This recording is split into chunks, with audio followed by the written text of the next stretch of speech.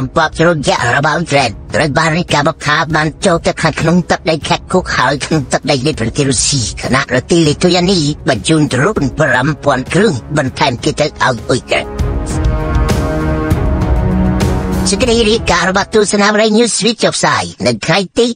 25សីហាបានដឹងថាកងទ័ពនៃកងទ័ពដ្រូនរបស់អ៊ុយក្រែនត្រូវបានបញ្ជូនចូលទៅខាងក្នុងទឹកដីនៃខេត្តគុកក្នុងទឹកដីរបស់រុស្ស៊ីហើយដើម្បីបើកប្រតិបត្តិការវិបរាដោយសង្គ្រាមដ្រូនទៅលើទីតាំងនៃកងទ័ពរុស្ស៊ីនៅខណៈនេះប្រធានាធិបតីពូទីននៃប្រទេសរុស្ស៊ីបានបញ្ជាក់ពីប្រតិបត្តិការរបស់កងទ័ពអ៊ុយក្រែននៅតែវាយសន្ធប់លើកងទ័ពរុស្ស៊ីប៉ុន្តែកងទ័ពរុស្ស៊ីនឹងបានកំពុងរុញច្រានកងទ័ពអ៊ុយក្រែនចាក់ចេញពីផ្នែកខ្លះៗក្នុងខេត្តគូនេះលោកបញ្ជាក់ថានៅក្នុងសមរភូមិខេត្តដូចញ៉ែកងទ័ពរុស្ស៊ីកំពុងតែវាយកាន់កាប់បានទីតាំងឈរជើងជាច្រើននៅក្នុងខេត្តនេះលោកពូទីនទទួលស្គាល់ថាខេត្តគូពិតទីតរូវរកងទ័ពអ៊ុយក្រែនចាក់ឈរជើងបានទីតាំងមួយចំនួនលោកប្រមានថាកងទ័ពអ៊ុយក្រែននឹងបាត់បង់ជីវិតនៅលើទឹកដីរបស់រុស្ស៊ីដល់ជាពំរុញនោះទីបានមិនព្រមប្រញាប់ដកត្រឡប់ទៅវិញលោកស្រីរីការរបស់ទស្សនាវិទ្យុ News Switch ចាប់ផ្សាយថាកងកម្លាំងនៃប្រតិបត្តិការកងទ័ពទ្រូន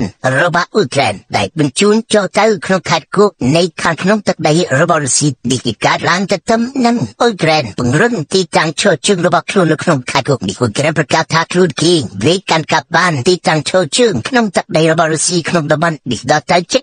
1300គីឡូម៉ែត្រក្រឡាជាមួយគ្នានេះអង្គការគ្មានព្រំដែន Médecins Sans Frontières បានបញ្ជាក់នៅក្នុងសេចក្តីថ្លែងការណ៍របស់ខ្លួនថាប្រជាជនក្នុងខេត្តគួកក៏ដូចជាប្រជាជននៅក្នុងខេត្តដូចញ៉ែកកំពុងតែរត់ស្រវេស្រវាចេញពីលំនៅឋានរបស់ពួកគេភូមិកររបស់ពួកគេដែលសារតែសង្គ្រាមរុស្ស៊ីនិងអ៊ុយក្រែនកំពុងតែវេសន្ធប់គ្នាទៅវិញទៅមកអង្គការវិជ្ជាបណ្ឌិតគ្មានព្រំដែនឬ Médecins Sans Frontières នេះបានបញ្ជាក់ទៀតថាគុកម៉ាតូចតូចកំពុងតែរងទុក្ខនិងរត់តាមឪពុកម្ដាយរបស់ពួកគេចាក់ចេញពីភូមិករពីសាលារៀនរបស់ពួកគេជាមួយក្រេតនេះរដ្ឋាភិបាលប្រទេសលីទុយលីដែលមានព្រំដែនជាប់នឹងប្រទេសរុស្ស៊ីផងដែរបានប្រកាសពីការរៀបចំបញ្ជូនដ្រូនយ៉ាងតិច5000គ្រឿងនិងប្រព័ន្ធការពារដែនអាកាសទៅឲ្យអ៊ុយក្រែនហើយថាជាផ្នែកមួយនៃជំនួយរបស់លីទុយលីនេះជាការបញ្ជាក់របស់នាយករដ្ឋមន្ត្រីលីទុយលីអ៊ីនគ្រីដាស៊ីម៉ុនឌីតេដែលបានប្រកាសឲ្យដឹង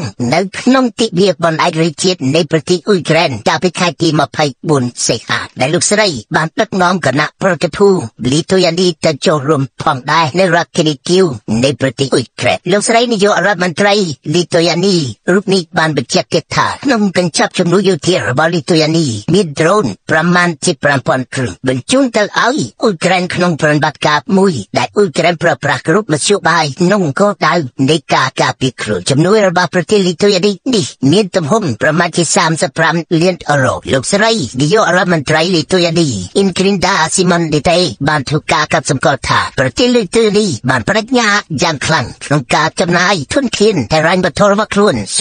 0.25%នៃចំណូលមូលដ្ឋានរបស់ខ្លួនប្រចាំឆ្នាំសម្រាប់ប្រទេសអ៊ុយក្រែនកាលពីដើមខែសីហាប្រទេសលីទុយនីបានចុះទៅលេខាលើកិច្ចព្រមព្រៀងដើម្បីផលិតរូនទៅឲ្យអ៊ុយក្រែនជាមួយនឹងការដែលលីទុយនីទទួលបានការរញ្ញាពីប្រទេសសម្ព័ន្ធមិត្តនៃប្រទេសតំបន់បាតិកក្នុងចំនួនដ្រូនដែលត្រូវបញ្ជូនទៅឲ្យអ៊ុយក្រែននោះគឺត្រូវបញ្ជូនទៅឲ្យអ៊ុយក្រែនចាប់ពីពេលនេះតទៅរហូតដល់អស់5000គ្រឿងដែលកំណត់បញ្ជូនទៅឲ្យអ៊ុយក្រែនវិជាសាស្ត្រសិក្សាសង្គ្រាមដែលមានមូលដ្ឋាននៅទឹកដីសហរដ្ឋអាមេរិកបានធ្វើសេចក្តីរាយការណ៍ឲ្យដឹងថាកាលពីខែទី23សីហាកងកម្លាំងនៃកងទ័ពអ៊ុយក្រែនបានបើកប្រតិបត្តិការរបស់ខ្លួនហើយនៅខែទី24សីហានេះក៏បន្តបើកប្រតិបត្តិការថែមទៀតប៉ុន្តែវាលុកចូលខាងក្នុងនៃទឹកដីរបស់រុស្ស៊ីក្នុងស្ថានភាពជីវវិទ្យាសាស្ត្រសិក្សាសង្គ្រាមបានបញ្ជាក់ថាអ៊ុយក្រែនពង្រឹងប្រព័ន្ធការពាររបស់ខ្លួននៅក្នុងតំបន់នៃខេត្តគុកនេះមើលទៅដូចជាចង់កាន់កាប់ខេត្តគុកនេះរយៈពេលច្រើនខែទៅមុខទៀត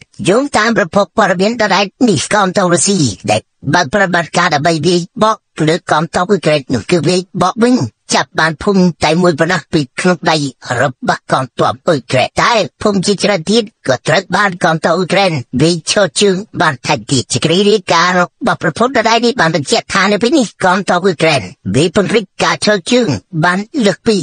1300គីឡូម៉ែត្រកន្លះហើយនៅក្នុងខេត្តគោះបើតាមប្រភពចារកម្មនៃប្រទេសអង់គ្លេសបានដឹងថាអ៊ុយក្រែនបានលើកទ័ពចូលទៅលុកលុយខេត្តគោះក្នុងទឹកដីប្រទេសរុស្ស៊ីដែលវាយប្រហារបំបែកព្រំដែនរបស់ប្រទេសមហាអំណាចនេះកាលពីខែទី6សីហានោះអ៊ុយក្រែនលើកទ័ពទៅរំតែមួយម៉ឺនអ្នកតែបណ្ដោះចារកម្មរបស់អង់គ្លេសឲ្យដឹងថានៅពេលនេះទ័ពជំនួយផ្សេងៗទៀតកំពុងបញ្ជូនចូលទៅក្នុងខេត្តគុកនេះហើយហើយក្នុងនោះមានទ័ពបច្ចេកទេសគឺទ័ពទ្រូនក៏ត្រូវបញ្ជូនទៅផងដែរនៅគណៈដែរអ៊ុយក្រែនមានផែនការប្រើប្រាស់ទ័ពទ្រូនយ៉ាងសកម្មដើម្បីវាយប្រហារទៅលើគោលដៅជាច្រើនរបស់កងទ័ពរុស្ស៊ីជាពិសេសគឺវាយប្រហារទៅលើរថក្រោះរថដៃនិងកំភ្លើងធំរបស់រុស្ស៊ីកាលពីខែទី